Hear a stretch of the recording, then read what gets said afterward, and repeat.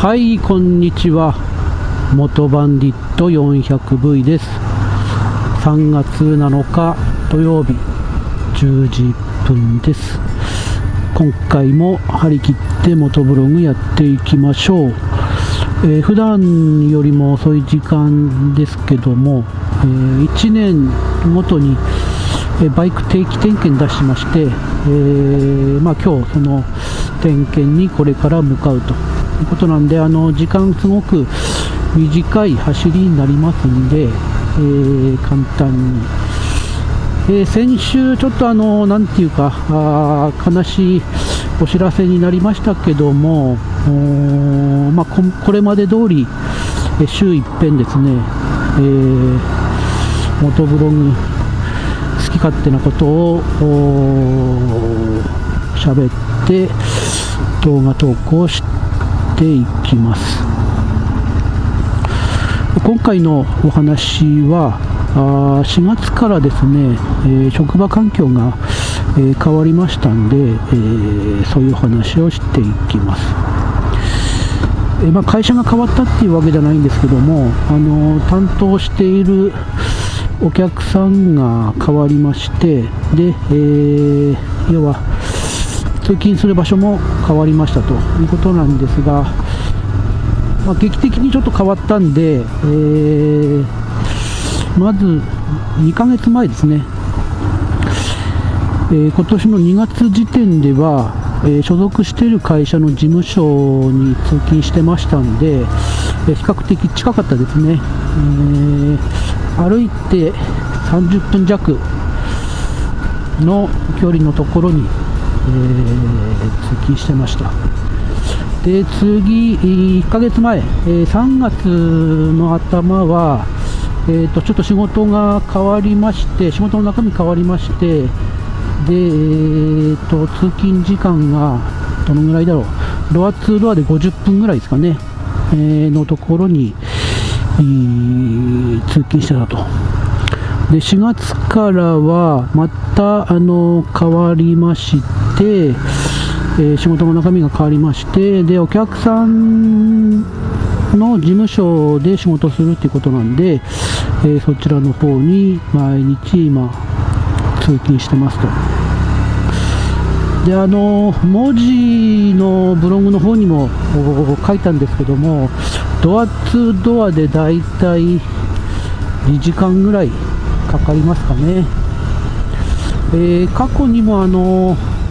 何年ぐらい前かな、5年ぐらい前かな、えー、1年半か1年かちょっとはっきり覚えてないですけども、まあ、そのくらいの期間ですね、やっぱりそのドア2ドアで2時間ぐらいのところに、えー、通勤してたんですけども、あのー、よく考えると、その往復4時間なんですよね、通勤時間が。えー、まあ、寝る時間も当然ある中で、えー、4時間ってすごい、あの貴重な時間ですよね。えー、まあ、会社の方からはあの、まあ、転勤しても、転勤というかあの、え引っ越ししてもいいよと言われたんですが、まあ、あの過去にあのその2時間ぐらいの通勤経験してるんで、えー、一旦あの引っ越ししないで通ってみますと。でどうしてもあのきつくて、えー、耐えられなくなったらあの引っ越ししますというお話はしてたんですけども、まあ、あの逆に言うとその4時間をうまく使えばなんか賢くなるのかなという感じもしますが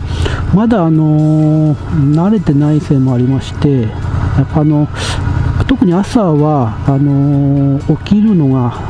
5時半で家を出るのが5時20あ6時20分過ぎぐらいなんでやっぱ眠いんですよねで、まあ、たまたまその、えー、電車は下り方面に、あのー、乗るもんで、えー、大体、あの初めの路線が1時間ぐらい。で1駅目か2駅目があの乗り継ぎの駅なんで、えー、まあ、朝も早いっていうことがあって結構そこで大体座れるケースが多くてまあ寝ちゃいますね。あら事故だろうか事件だろうか。警察官。なんでしょう、まあ、ここにも警察車両。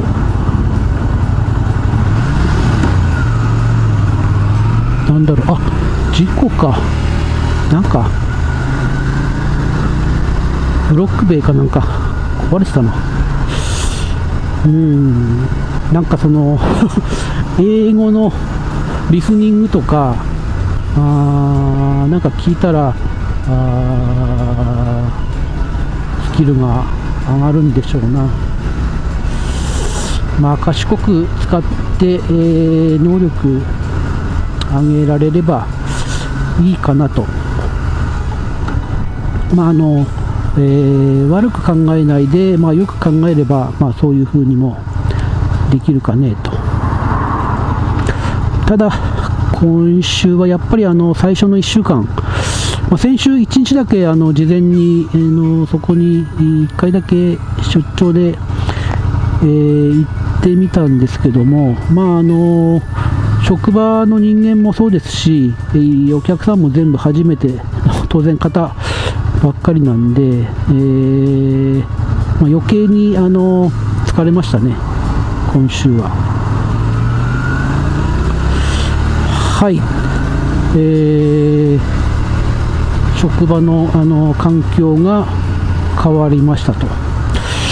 いうことで、今回の元ブログはこの辺で終わりにします。最後までご視聴ありがとうございました。